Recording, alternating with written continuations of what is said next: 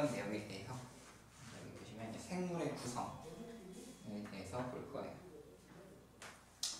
이제 앞선 시간에 생명과학을 탐구하는 방법, 생명과학이란 무엇인가 뭐 이런 거에 대해서 정리를 했고 그 다음에 어, 어떤 생명체를 구성하는 생명체를 구성하는 특징은 뭐가 있느냐 이런 것들이 생명체다라는 게 이제 대부분의 내용인데 이제 오늘은 어떤 거에 대해서 이 생명체가 뭘로 구성되어 있는가 거기에 대해서 이제 보도록 할게요. 먼저는 생명체를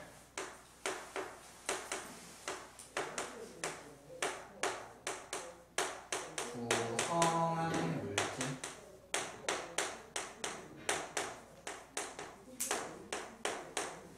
이걸 한번 살펴볼 수 있도록 하겠습니다. 생명체라고 하면 이제 다양한 물질들로 되어 있는데 어, 중학교 2학년 때 배웠던 내용을 좀 떠올려 본다면 뭐가 있어요?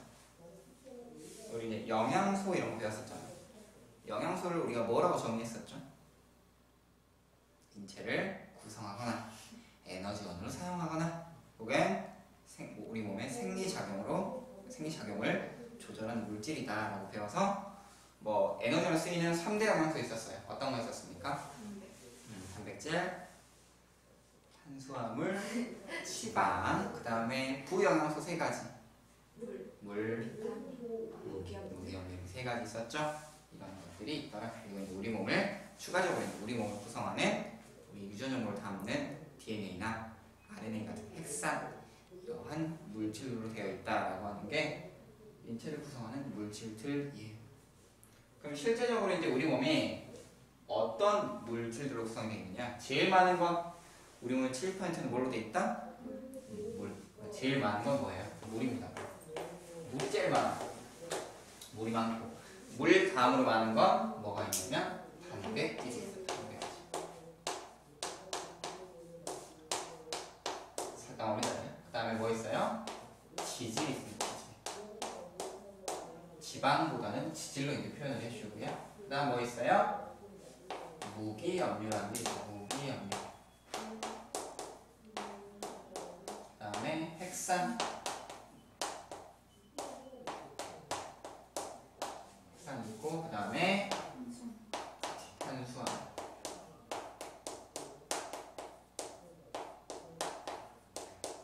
그 외에 이제 기타 여러 가지 물질들로 구성이 되어 있는 게 우리 몸의 구성입니다. 이런 구성입니다. 자, 그럼 이제 이러한 것들이 우리 몸을 구성하고 있는데 단순히 우리 몸뚱아리를 이루고 있다로 끝나는 게 아니라 우리 몸에서 어떠한 작용을 하고 있는지 이 세상에 필요한 것은 필요 없는 것은 없다고 얘네가 그러면서 어떤 일을 하는지를 알아야겠죠. 하나씩 창창은 봐야 할 텐데 이제 많이 순서대로 한 번씩 보면 되겠죠. 어제 설명을 하다가 이 칠판 분배를 잘못해가지고 막판에 가서 아 이렇게 해버렸는데 오늘은 좀 정리를 좀 잘 깔끔하게 해보려고. 자, 첫 번째 볼 거는 물이에요, 물. 물은 우리가 이제 화학식으로 어떻게 써? H2O 이렇게 쓰죠. 수소와 산소로 이루어진 물질입니다. 우리 물 분자가 어떻게 생겼나 라고 이제 보면은 물 분자가 어떻게 생겼어요? 중심부에 이제 뭐가 있고 중심 원자가 산소이고 그 옆에 수소가 이렇게 두 개 나란히 붙어 있는 구조죠. 이렇게 생긴 게 물 분자입니다. 물 분자는 대칭 구조야 비대칭 구조야? 비대칭 구조죠. 비대칭 구조입니다. 그래서 무슨 분자? 극성을 띠고 있다라고 우리가 아마 배웠을 거예요 1학년 때 융합과에서 배웠을 거고 물의 특성을 보자면 물은 일단 극성 분자이고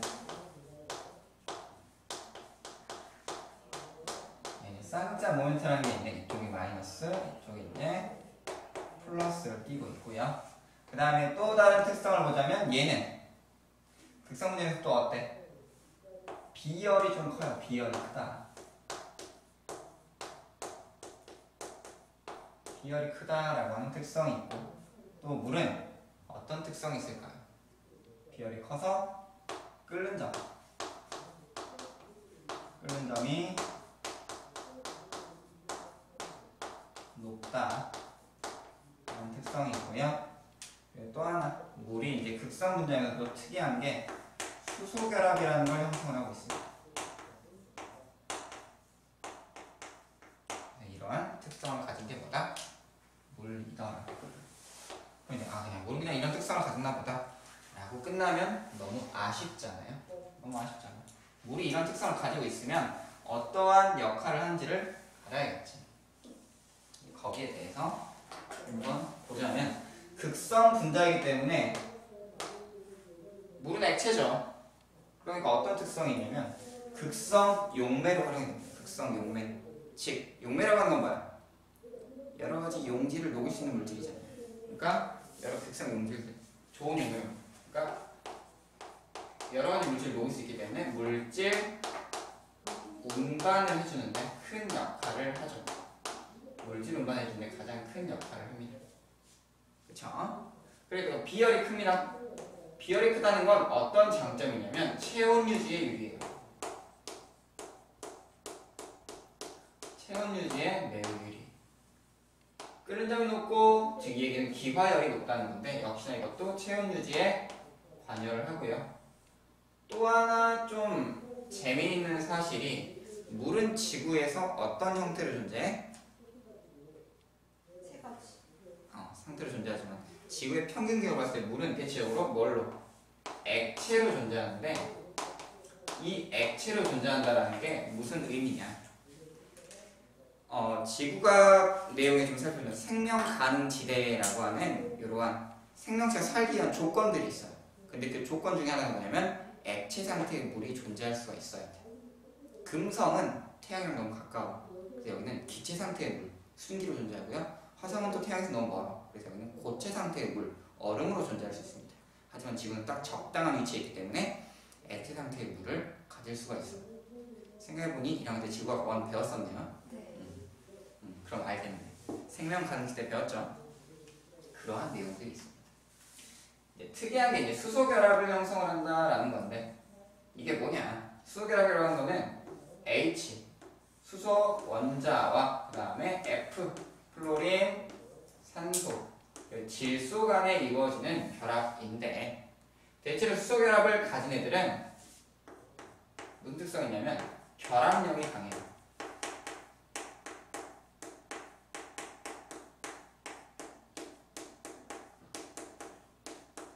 뒤에도 잠깐 수소 결합이 나오겠습니다만 결합력이 강하기 때문에 그래서 비열이 크고 끓는 점이 높은 거예요. 알겠죠? 네, 요 정도만 아시면 돼요. 수소 결합이 어떻게 형성이 되고 그 다음에 이게 이제 어떠한 구조를 띠느냐 뭐 유, 물을 이제 다른 말로 육각수라고 하는데 물이 이렇게 벌집 모양 육각형 형태를 띠거든요. 그게 이 수소 결합 때문이지. 예, 그 정도만 아시면 돼요. 그래서 물은 우리 몸에서 되게 중요한 역할을 감당을 하더라고요. 특히 이 체온 유지라고 하는 게 뒤에 가면 단백질 때문에도 중요한데 그거는 이따 단백질 설명하면서 한 번 더 이야기하도록 할게요. 그렇게 되고 자, 두 번째 어차피 바로 단백질이네요. 두 번째 뭐가 있어? 단백질이 있습니다. 단백질. 단백질이 있어요. 단백질. 자, 단백질이라고 하는 거는 뭐냐? 어떤 원소들로 구성이 되어 있냐면 탄소, 수소, 산소 그리고 또 하나 질소로 구성이 되어 있어요. 이러한 물질로 되어 있습니다. 일반적으로 단백질은 여러 복합체로 되어 있는데 기본이 되는 단위체. 기본이 되는 단위체가 뭐고 하니 우린 단백질의 기본 단위체를 뭐라 불러? 아미노산이라고 합니다. 아미노 액시드라고 부르고 있어요. 이 아미노산이 어찌코롱 생겼냐? 어찌코롱 생겼냐? 일단 기본적으로 골격이 N, C, C 이렇게 기본 골격을 가지고요. 여기에 수소, 수소, 산소는 아직 안 나왔어요. 자, 그다음에 여기 H, 수소가 또 붙어요. 여기는 이제 R. R이라는 원소 본 적 있나요? 본 적이 있다고요? 끄덕끄덕. R이라는 원소 본적 있어요? 없어야 정상인데? R이라는 원소를 본 적이 없어야 되죠. 자, 그다음 O. 여기는 O, H 이렇게 붙어 있습니다. 이게 아미노산의 기본 구조인데 모든 아미노산은 어디가 다 똑같이 생겼냐면 여기가 다 똑같이 생겼어요. 동그라미 이 부분이 다 공통입니다. 다 공통인데 그러니까 여기 있는 요 R만 달라요. R. 이 하는 건 원소가 아니라 이걸 뭐라고 하냐면 곁사슬이라고 하는데 곁사슬이라고 하는데 이 곁사슬은 무슨 역할을 하냐면 얘가 아미노산은 그치 종류를 결정합니다.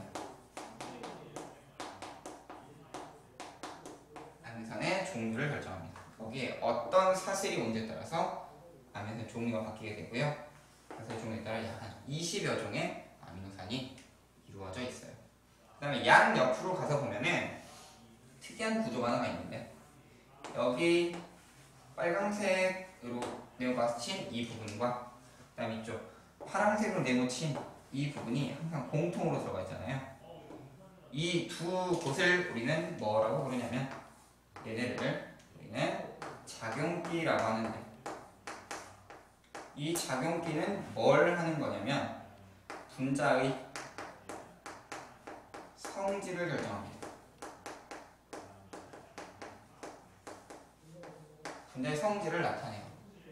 여기 빨강색으로 된 이쪽은 우리가 뭐라고 부르냐면 카복식이라고 해요. 카복식. 여기는 COOH 이렇게 구성이 되어 있고요. 얘는 산성을 나타냅니다. 이런 특성을 가지고 있어요. 거기다 이쪽 파란색은 우리가 아미노기라고 불러요. 아미노기 여기는 NH2 NH2죠. 여기는 염기성을 나타냅니다. 나중에 화학에서 배우겠지만 여기서 얘기하는 염기는 우리가 일반적으로 알고 있는 염기랑 좀 약간 차이가 좀 있다고 생각하시면 돼요. 일반적인 OH를 넣는 이런 염기는 아니에요. 하지만 염기성을 띠고 있습니다. 분리를 한다면 염기성은 분류가 되는데 자 하나의 분자에 뭐가 있어? 산성도 있고 염기성도 있죠. 그래서 이러한 아미노산을 우리는 양쪽성 물질이라고 두 가지 성질을 동시에 가지거든. 아미노산은 이러한 형태를 띠고 단위체가 아미노산이니까 얘네들이 합해지면서 뭐가 되겠어? 단백질을 이루겠죠. 그럼 얘네들이 어떻게 합쳐지느냐? 여기 아미노산이 있습니다. MCC 가지고 여기에 H 여기 H 가지고 여기 H R 원이라고 해볼게요. 여기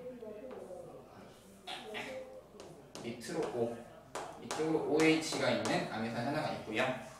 옆에는 하나 더 있어야겠지. 여기도 N, C, C 이렇게 가지고 이쪽도 H, H 그리고 여기 H, R2, O, OH 이렇게 두 개가 있을 때 아미노산이 어떻게 결합을 하느냐 결합하려고 봤던 결합선이 있어 없어?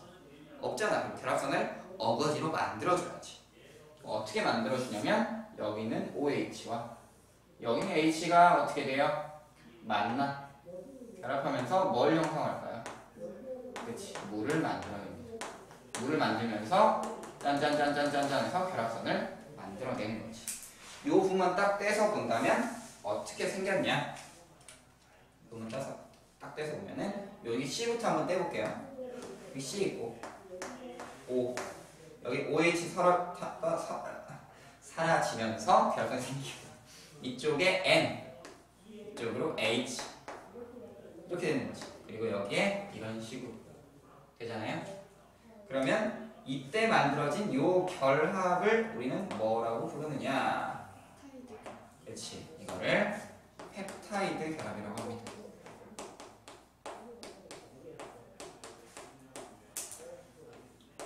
그래서 아미노산이 뭉쳐서 단백질을 만들 때는 이 펩타이드 결합에 의해서 아미노산이 뭉쳐가고요.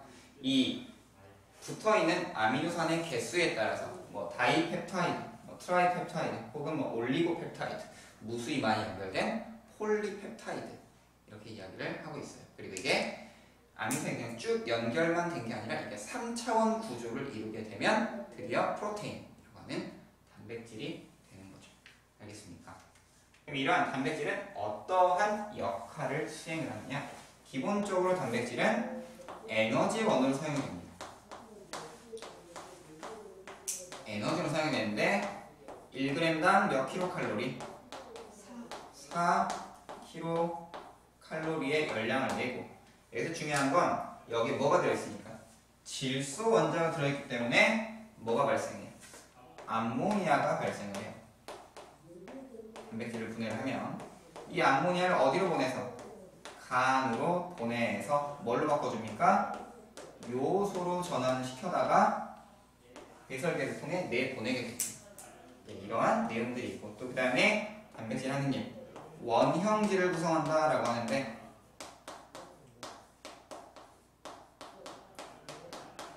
이건 다른 말로 우리 몸뚱아리를 구성을 거지. 우리 몸을 만들어 줍니다.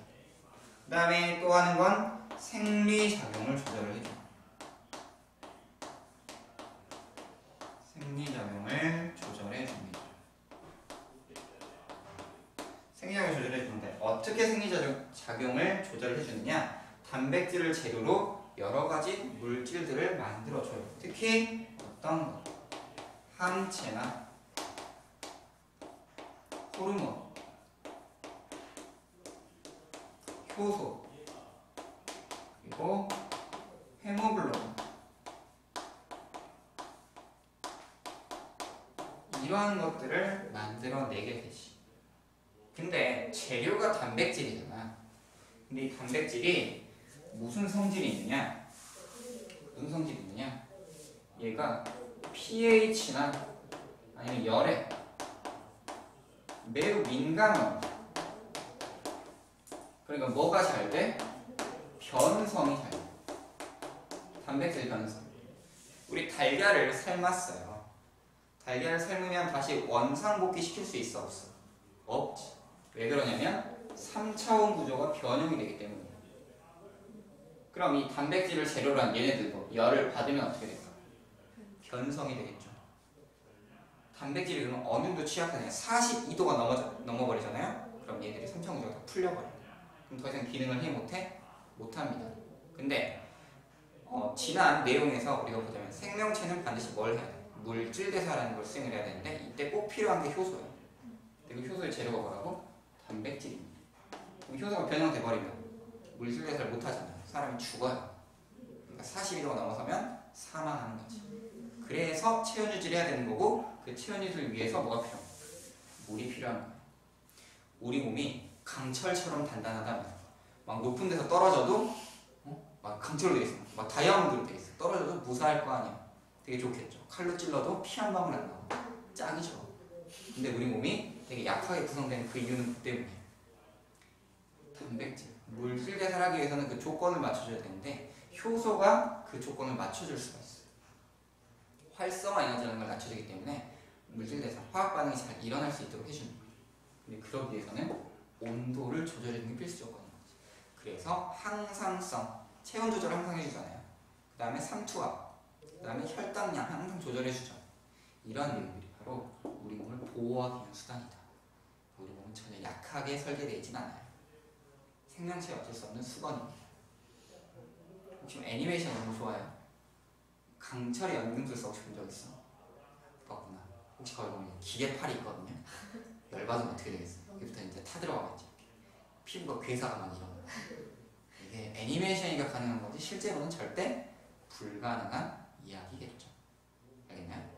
이러한 내용들을 우리가 생각을 해볼 수가 겁니다.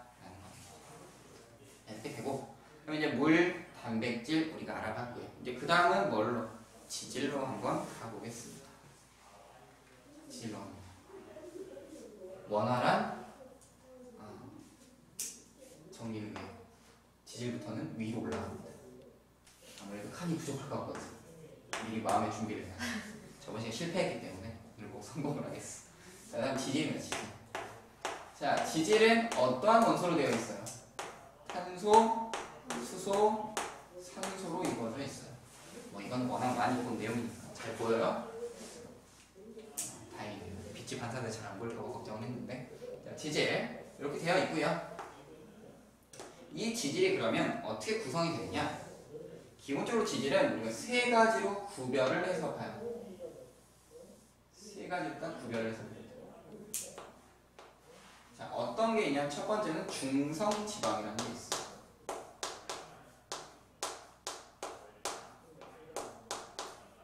중성 지방이라는 게 있어. 우리가 흔히 얘기하는 지방 있죠. 그게 이 중성 지방인데 우리가 지질보다는 지방이라는 말을 더 많이 쓰죠. 이유는 뭐 때문이야? 얘가 90% 이상이에요. 지질 중에서. 그러니까 중성 지방은 말 그대로 이 CHO 있지. 이게 중성 지방의 구성 원소들입니다. 중성 지방은 하는 일이 뭐예요? 먼저 중성 지방은 뭘 해? 얘야말로 에너지원을 사용해요.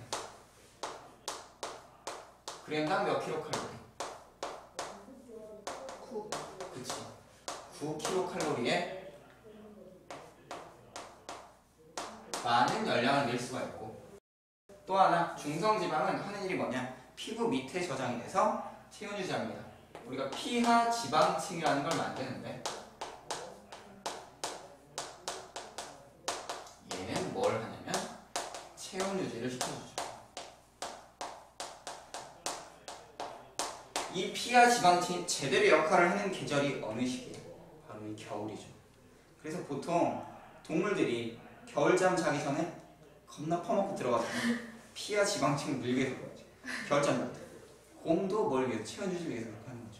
북극사는 북극곰, 몸집이 크잖아. 다 기름져서 그래요. 피하는 되게 두껍습니다. 그리고 또 사람을 기준으로 한다면 좀 약간 오해의 여지는 있지만 남자 여자가 있으면 보통 여성이 피하 지방층이 조금 더 두꺼워요. 원래 몸 인체 자체가 그렇게 설계가 돼 있어요. 그래서 보통 데이트를 하면 어떻게 해? 남자 여자한테 추워 옷 벗어주고 딱 걸어주잖아요. 이 거- 여자애가 추우면 남자는 더 추운 거지. 더 추운 상황인데 아예 희생을 해서 이렇게 걸어준다. 혹시나 나에게 남자친구가 옷을 벗어서 걸어주거든요. 응? 물론 이제 걸치고 있으면 따뜻하니까 좋겠지만 남자 생각해서는 아니야 난 괜찮아. 만약에 걸어서 입고 있다면 되게 고마운 마음을 가지시면 되겠어요. 알겠죠? 자, 이렇게 되고. 자, 근데 중성지방이 어떻게 구성이 되어 있느냐. 중성지방은 이렇게 생겼어요. 근데 생긴 게 네모난 게 하나 있어. 네모난 게 하나 있는데 요거 하나 있고요. 그 밑에 이렇게 막대기 세 개가 딱 달려 있습니다. 막대기가 세 개가 달려. 여기에 있는 주황색은 뭐냐면 이거는 우리가 글리세롤이라는 글리세롤이고요. 밑에는 이제 지방산으로 되어 있습니다. 지방산으로 이렇게 구성이 되어 있어요. 됐죠? 자, 이렇게 되고 이제 결합을 형성할 때는 아까 여기 단백질은 어떤 결합이었어요? 펩타이드 결합이었죠? 여기는 이제 에스터 결합이라고 하는 다른 결합으로 되어 있습니다. 별로 중요한 내용은 아니라서 굳이 뭐 알 필요는 없어요. 이렇게 생겼고 그 다음 두 번째로 있는 건 뭐냐면 인지질이에요. 인지질. 인지질은 우리가 되게 많이 들어봤어요. 인지질은 어디에 있어요? 얘는 생체막을 구성합니다.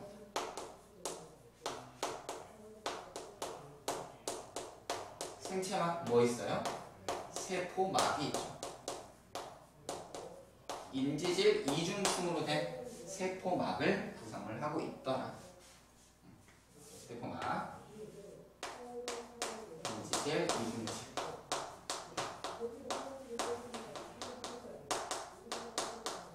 이렇게 되죠? 근데 이제 인지질도 이제 생겨 먹은 게 어떻게 생겨 먹었냐면 인지질 이제 글리세롤이 이렇게 있고 글리세롤 이렇게 있고요. 그 다음에 여기 이제 지방산이 이렇게 붙어 있어.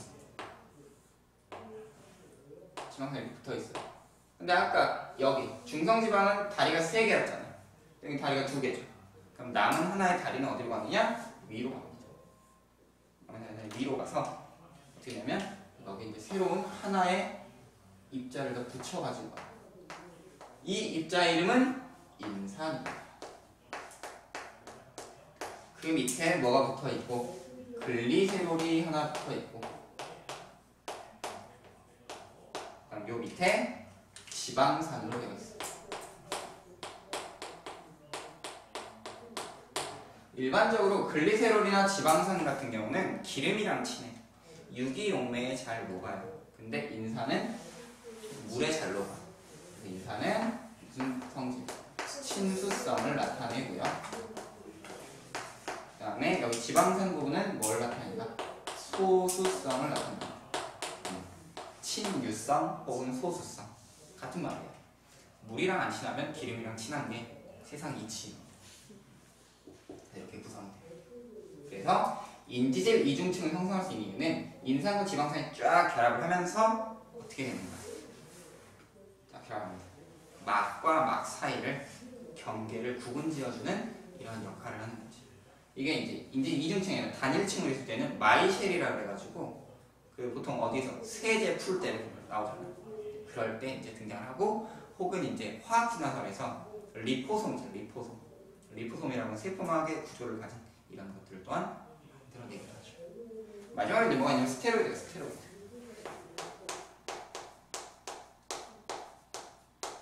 스테로이드는 뭐냐면 이건 이제 성 호르몬이라는 걸 말해요.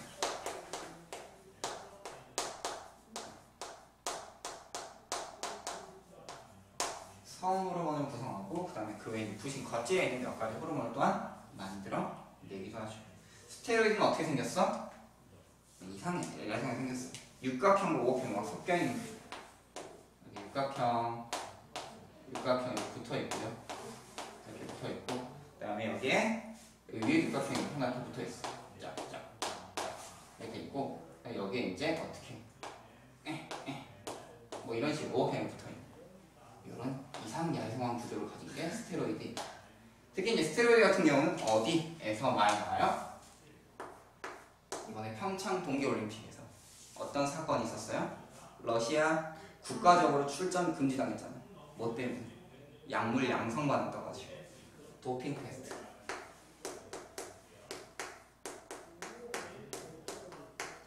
이게 스테로이드제를 쓰면은 근육량이 폭발적으로 증가를 해요. 왜 그러냐면 이게 호르몬 자체를 그렇게 만들거든. 뭐 생장 호르몬이나 이런 것들을 뭐 아드레날린 이런 거 있잖아요. 이런 걸 분비할 수 있도록 해주는 게 스테로이드 역할입니다. 그 재료거든. 근데 이걸 많이 쓰면 어떻게 되냐면 막그 보디빌더들 보면 근육 되게 엄청 크잖아. 다약 먹하고. 근데 이 사람들이 약을 먹다 보면 어떻게 되냐면 정자가 다 죽어. 성으로 오늘 못 만든 거야. 성 불구가 돼. 좀 이런 좀 위험한 부분도 있더라. 라는 거 이제 아시면 되겠습니다. 자, 그 다음에 네 번째. 네 번째는 이제 뭐가 있냐면 무기염류가 있습니다.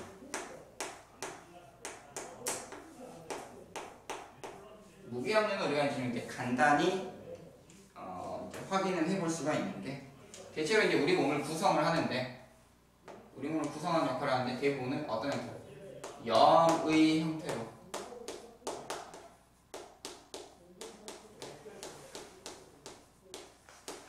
존재합니다. 그래서 염이라는 거 혹시 기억나요? 뭔지? 염이 혹시 뭔지 혹시 기억나요? 그 염이 언제 등장을 했느냐? 산 플러스 염기 하면 물 플러스 염 이렇게 있었는데 혹시 기억나려나? 너무 배운 지 오래됐거든요. 그래서 염이라고 하는 거는 우리 염분 이런 거 있잖아요. 염분. 염분이 뭐야? 소금, 물에 녹아있는 물질들을 염이라고 합니다. 물에 녹은 물질. 염은 물에 녹아있는 형태로 존재를 하고요. 우리 몸에 흡수될 때는 극성 용매에 잘 녹으려면 극성을 띄어야 되잖아요. 이온의 형태로 보통 흡수가 됩니다. 말 그대로 이제 무기염, 여러 가지 이온 물질들이라고 보시면 되는데 예를 들어서 이제 어떤 것들이 있냐면 어떤 역할을 하느냐 우리 몸에서 예를 들어 음, 철, 철. 철 같은 경우는 뭐의 구성 성분? 헤모글로빈의 구성 성분입니다. 헤모글로빈을 구성을 하고요. 우리 피는 무슨 색이야? 빨강색. 왜 빨강색일까? 그 적혈구. 헤모글로빈으로 구성된 적혈구이기 때문인데 이 철 이온 때문에 그래요. 철이 녹슬면 무슨 색 나와? 빨강색 나오죠. 그래서 빨강이. 일부 이제 어떤 생명체들 같은 경우는 철 대신 구리 이온을 가지고 있는 경우도 있어. 그럴 땐 피가 무슨 색일까? 파란 피가 돼요. 파란 피. 구리 물에 녹으면 푸른색 나오잖아. B가 8에 여기도 그래요? 아니요 그건 아니죠 우리 몸은 철로 돼 있어요 일부 생명체 사람 말고 다른 생명체 우리 몸에는 철을 다 구리로 바꿔버리면 피가 푸른색이 되긴 하겠지 굳이 뭐 그렇게 하진 않아요 난 칼륨 칼륨은 뭐예요? 신경 신호전달 신경체의 자극 전달인데 나중에 이제 분극, 탈분극 막 이런 거 거예요. 그때 칼륨이 등장을 합니다. 그 다음에 아이오딘 얘는 뭐 하냐면 티록신 재료예요. 티록신을 구성 티록신 하면 이제 세포 호흡에 관련된 호르몬이죠. 이런 거 있고 그다음 칼슘 칼슘은 뭐예요? 뼈를 구성하죠. 이가 튼튼, 이가 탄탄 이런 거. 자, 그리고 무기염료는 이러한 역할을 하더라. 라는 겁니다. 다음엔 다섯 번째 핵산으로 갈. 아 오늘 왠지 음, 매우 성공적이에요. 칸 배움에 성공한 것 같아. 기분이 좋습니다. 자 다섯 번째 다섯 번째는 뭐냐면 핵산. 핵산이 이제 뭘 포함하고 있냐? DNA와 RNA라는 걸 포함을 하고 있죠. 자, 기본 구조는 뭐냐? 얘는 단위체가 단위체는 뉴클레오타이드라고 불러요. 뉴클레오타이드. 어떻게 생겼냐? 여기 허리, 인산, 노랑이, 당, 그리고 주황색 한번 해볼까요? 이렇게 생겼어. 얘들이 이제 공결합에 의해서 이렇게 이제 만들어져 있습니다. 각각 인산, 당, 그리고 염기 이렇게 세 가지가 1대 1대 1로 결합해 있는 게 핵산입니다. 이게 이제 기본 구조예요. 그래서 이게, 이게 쭉 이렇게 연결이 돼 있어요. 당에서 이게 뻗어나오는 인산, 당 이렇게 나와요. 결합을 하는데 핵산에서 중요한 거는 DNA와 RNA의 차이를 아는 거지. DNA와 RNA가 무슨 차이가 있느냐 한번 비교를 해본다면 DNA와 RNA 자 일단 가장 먼저 차이가 나는 건 뭐냐면 이름에서부터 차이가 나죠. 뭐 당의 차이가 당. 당의 종류가 다른데 DNA는 어떤 당을 쓰냐면 디옥시 리보스 당이라는 게 있어. 여기는 당의 종류가 달라요. 여기는 그냥 리보스 당인데 여기 밑에 칸이 있으니까 무슨 차이냐면 자, 디옥시리보스 당은 어떻게 생겼냐? 둘 다 오각형은 똑같아요. 크기는 같아. 내가 지금 잘못 그렸는데 크기는 똑같습니다. 여기 이제 CH2OH 여기 CH2OH 이렇게 있고 정확한 구조는 굳이 알 필요 없어요. 자, 여기에 예를 들어서 H가 있다. 여기에 OH가 있다. 이 차이야. 얘가 얘가 디옥시리보스 스당이고 다음 얘가 리보스 당입니다. 이렇게 구성이 돼요. 이렇게 이제 나머지다. 그러니까 여기 오가 나왔잖아요. 그러니까 이름 자체에 무슨 뜻이냐면 D 없어 없어. 뭐가 옥시 산소가 없습니다 라고 해요. 나중에 이제 문과라서 안 배우겠지만 이과는 생명과학 2를 배우거든요. 거기 이제 디디옥시리보 아 다이디옥시리보스라는 게 있어. 그거는 산소가 이쪽도 없어. 결합이 안 돼요. 결합이 쭉 가다가 딱 끊어져. 그래서 그거 가지고 염기 서열을 밝히고 이런 내용들도 있는데 굳이 알 필요는 없는 내용이지. 당은 이렇게 차이가 있고 그 다음 두 번째 무슨 차이가 있느냐? 염기의 차이가 있죠. 염기의 차이가 있어요. 자, DNA는 염기가 어떻게 되냐면 A, T, C, G 이렇게 구성이 되고요. RNA는 A, T 대신에 U, C, G 이렇게 구성이 됩니다. 이런 연계 차이가 있다. 그다음 세 번째 뭐가 있느냐? 구조의 차이가 구조. 구조의 차이가 있는데 무슨 구조의 차이냐? DNA는 무슨 구조냐면 이게 서로 맞물려 있는 구조예요. 그래서 이중 나선 구조. 앞에서 아마 생명과학의 역사를 정리하다 보면 왓슨과 크릭이라는 사람이 나올 거예요. 그 구조를 밝힌 게이 두 사람이죠. 여기는 합니다. 이렇게 있고 마지막으로 기능. 무슨 기능이 있느냐? 자, DNA는 뭘 하냐면 여기는 유전 정보를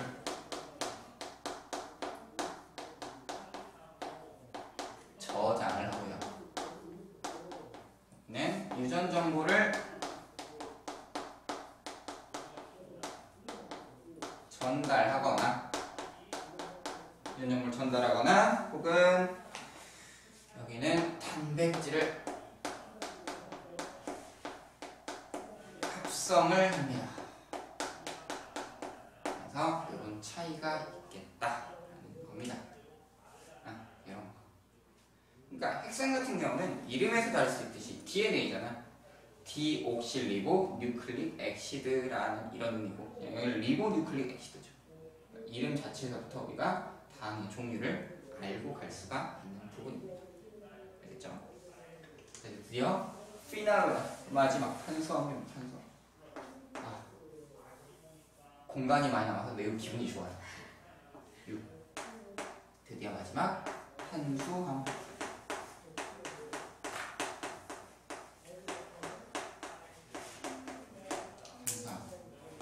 기본 구성 원소는 C, H, O. 자, 탄수화물은 우리가 이제 기억할 게 많으면 많고 적으면 또 적고 이렇게 볼 수가 있는데 기본적으로 탄수화물은 구조 구성을 좀 나눠본다면 크게 이제 세 가지로 나눠볼 수가 있어요. 첫 번째는 다당 다음은 이당류. 그리고 단당류가 있습니다. 여기서 이 단당류 호단자잖아요. 얘가 탄수화물의 기본 단위체인데 단당류는 또 이제 두 종류로 나와요. 두 종류. 탄수가 다섯 개는 5탄당이 있고요. 여기 6탄당이 됩니다.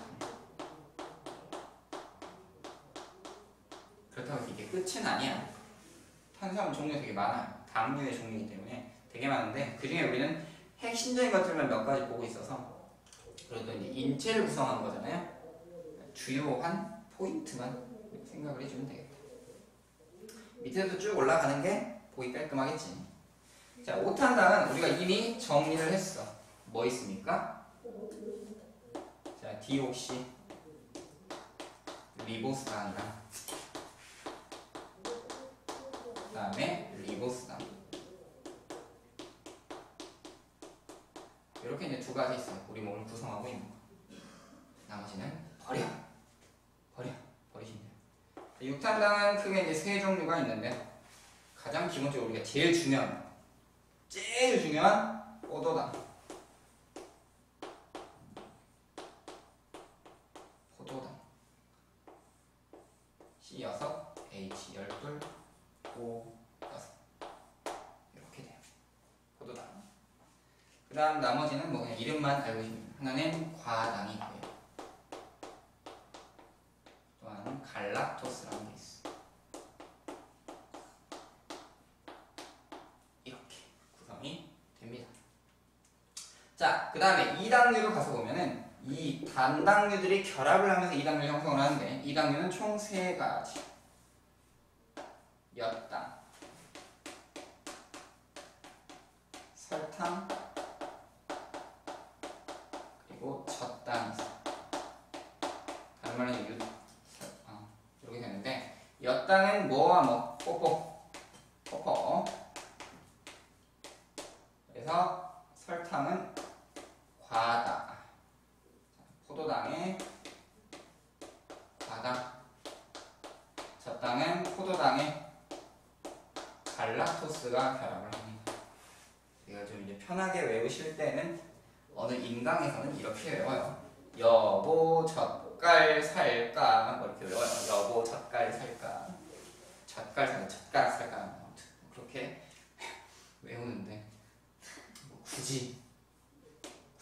그렇게까지 힘들면 그렇게 외우시고요.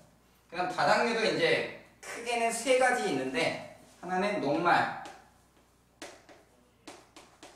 그 다음에 글리코젠 그 다음에 셀룰로스 셀룰로스 셀룰로스 하나씩 정리를 한다면 녹말 같은 경우는 식물의 저장. 식물의 저장 형태. 식물 같은 경우는 녹말로 저장하고 그래서 우리 밥이나 이런 거 다 녹말 들어있죠. 글리코젠은 동물의 경우에 저장을 하지. 그리고 셀로스 같은 경우는 이제 세포벽 구성합니다. 식물에서 세포벽을 구성하기 때문에 동물에서는 셀로스가 별로 한 일이 없어. 식물에서는 되게 중요한 골격을 형성하는 중요한 역할을 담당을 하게 되죠 알겠나요? 네, 그렇게 되고 특히 이제 셀로스는 우리 몸에 분해할 수 있는 효소가 없어요 그래서 우리 고구마, 보리 이런 걸 많이 먹으면 배에서 여러 신호들을 방출하잖아 그거는 소장까지 소화를 못 시키다가 이제 마지막 대장 가서 대장들이 열심히 이제 이걸 쪼개내는 거지 그러면서 이제 가스가 방출이 되고 뻥! 뻥! 고구마 보리가 먹고 이렇게 나오는 거 알겠죠? 그래서 이러한 내용을 구성할 수가 있고 지- 탄수화물은 일단 어디에 쓰여? 에너지원으로 쓰이죠 얼마? 아 1g당 얼마예요? 4kcal 소모가 되는데 저장을 지방으로 저장합니다. 그러니까 대부분 에너지원을 쓰이고 저장을 할 때도 지방으로 저장을 하다 보니까 우리 몸 인체 구성 비율은 어떻다? 낮은 편에 속한다 라는 거죠. 알겠나요? 이렇게 해서 우리가 우리 몸뚱아리를 구성하는 생명체를 구성하는 물질들에 대해서 알아보았고요. 자 이제 물질들을 알아봤으니까 세포의 기, 아니 세포란다 생명체의 기본 구조인 뭐 기본 구조인 뭐 세포로부터 우리 몸뚱아리가 어떻게 그럼 만들어져 있는가 세포 소기관과 그리고 조직부터 개체까지의 과정까지 해서 이것도 정리를 해볼 수 있도록 하겠습니다. 쉬었다가 하도록 할게요.